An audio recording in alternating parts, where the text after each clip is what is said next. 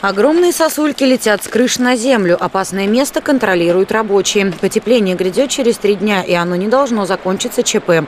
Очистка крыш – зона ответственности управляющих компаний. Контролируют их административные комиссии.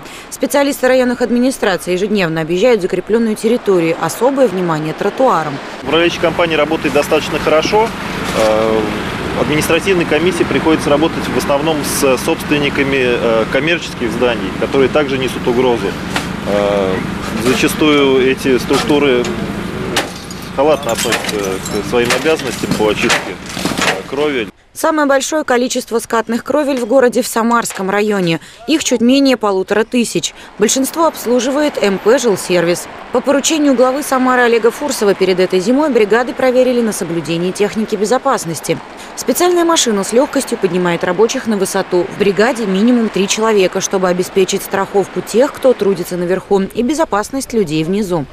Одновременно очистить все кровли невозможно, но огораживать опасные участки управляющая компания обязана. У нас э, начальники ЖЭО обязательно ходят огораживают, фотографируют прям в числом, когда это было огорожено.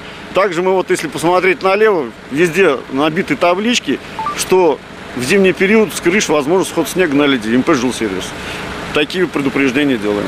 Очистка скатных кровель на контроле у глав районных администраций. Особое внимание встречам с жителями. Собственникам объясняют, балконы, козырьки и кондиционеры – это их зона ответственности. За состоянием крыш следят и в прокуратуре. За их несвоевременную очистку грозит административная ответственность, а в случае ЧП и уголовная. Мариана Мирная, Артем Сулайманов. События.